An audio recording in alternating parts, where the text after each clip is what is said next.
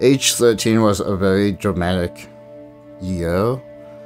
My dad and mom split up.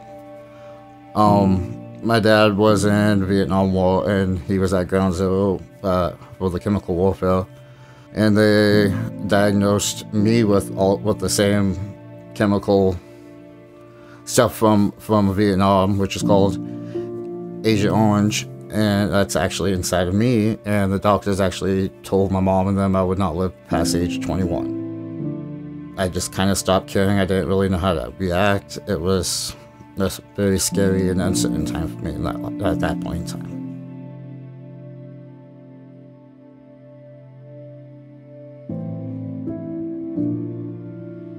This one guy came up to me and asked if I would do a favor. And he explained to me I'd take a package to such and such, and when I came back, I would get paid. And I did that. And when I got back, he that's kind of when cocaine was in, introduced in my life.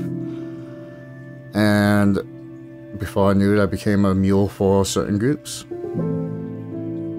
Me and my dad, you know, of course, he's he, uh, he was an alcoholic, kind of into drugs too, but we were actually getting along the next morning, I woke up to uh, my dad with the board with nails, and he started started to hit me on my backside. I got up, cold clocked him, actually knocked him out, and all the thoughts started going in my head. You know, like like what did I just do? Did this just happen?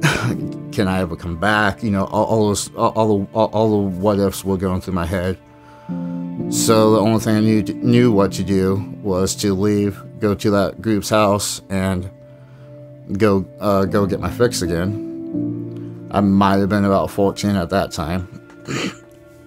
I got back and uh, basically became muscle as well as well as as well as a mule. I don't know if I felt like it was the right thing for me to do, but they knew how to make you feel welcomed because they wanted something from me. I was good at going out. I was good. At, I was good at snatching up whoever that was on the list. I was good at moving kilos upon kilos over the state line. That's what they needed. I never got caught. I really didn't feel much. of it. They they taught me not to show feelings. when they when I started to get introduced into that, they they this uh, this certain guy took me to another house. Where a guy was tied was a guy was tied up and gagged, bounded, and he um there was four different objects on the table, and I had to pick one, and I picked the the crowbar, and another guy came, grabbed that, and started beating this guy that was that was tied up and bound. He couldn't, you know, there was no. They uh, they they started beating him almost to almost to death, and I had to sit there and watch it while I was explained. You know, I I I am not to snitch. I'm not to still. I'm not. You know, I just do these things for him, and that's what I, that's what I do. And it kind of just be. It, it maybe became that that cold that cold front is what I just I, I had to have on from then on out basically. There was really no emotional uh, emotions. It was just either a blank stare or it was a lot of hatred.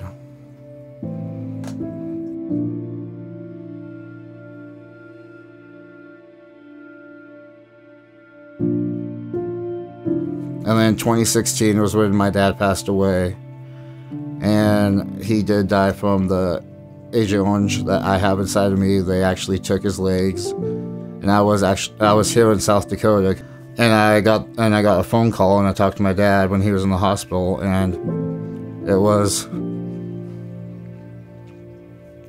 it was the first time I actually heard my dad say that he loved me and he was proud of me, and he was dead two hours later shortly after my dad and uh, my best friend passed away uh, uh out of state. Um, that was yeah, I was the last person to see him. He was shot in the head.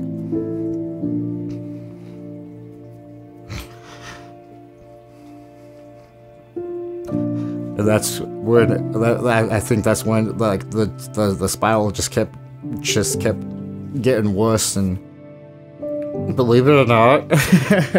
It was actually my third DUI is where I started to turn it all around. Um I finally got caught here in in Rapid City with with meth and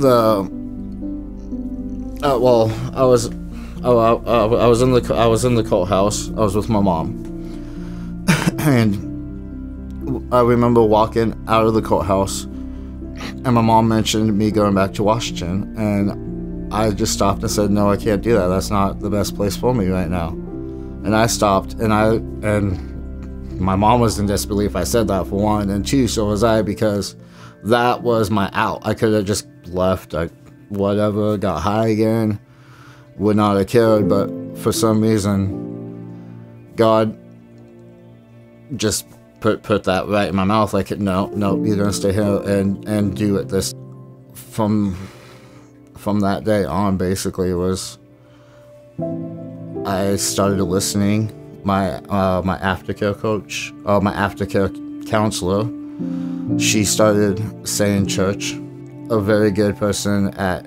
at NA, which is Narcotics Anonymous, saying the same thing, and then my mom and my sisters and my brothers, they were all kind of hinting as well.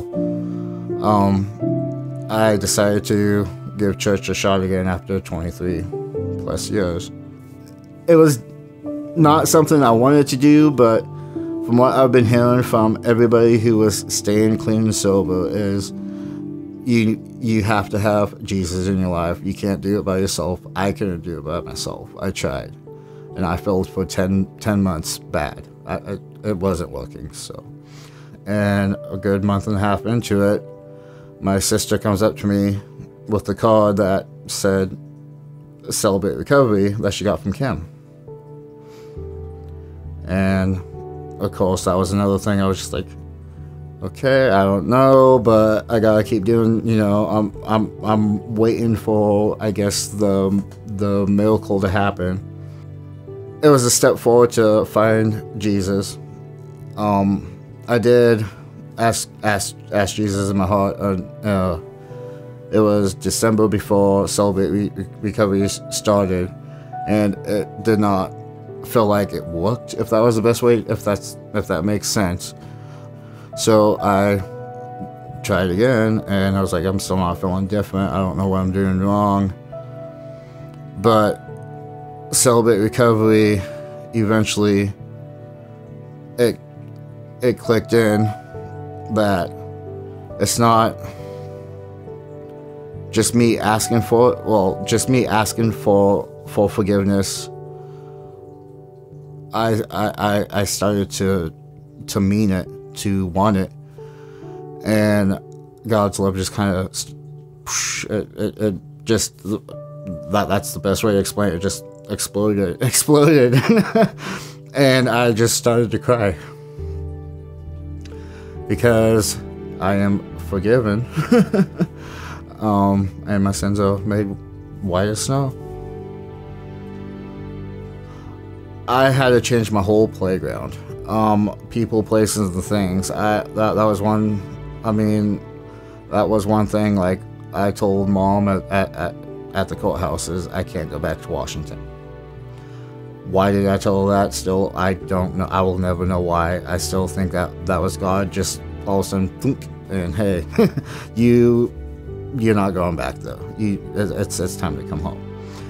All I gotta say is God is good. He's definitely pulled a sinner, uh, a sinner like me out from way left field, and he brought me back. And it took some time to actually adapt. I guess is the best way to say it. But through Fountain Springs and through Celebrate Recovery, I can actually set, stand stand uh, sorry stand in front of people and say I am a grateful believer in Jesus Christ. And I am I am over 18 months now with no drugs and alcohol.